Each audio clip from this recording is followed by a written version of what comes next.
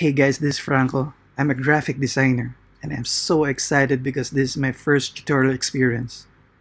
My objective is to share you all about solutions, techniques, tips related to graphic design. And for today, I'll show you all about gradient annotator. So when working with shapes with gradient, all you have to do is go to window, then gradient. Now you can adjust everything.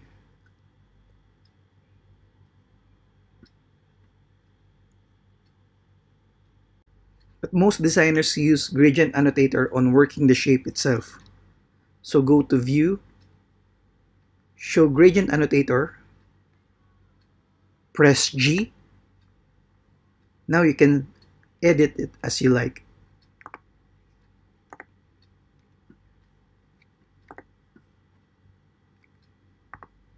But what if you have done everything and still not showing the gradient annotator? Is because you accidentally flattened the transparency.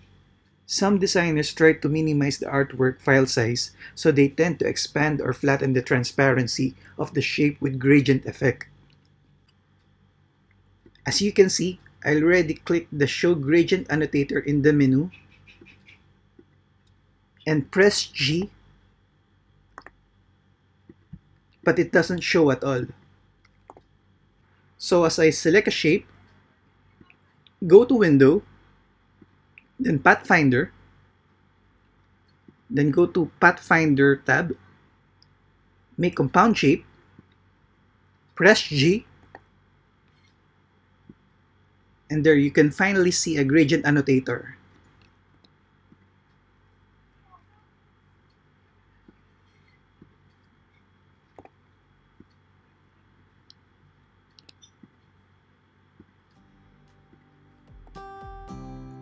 And that's about it.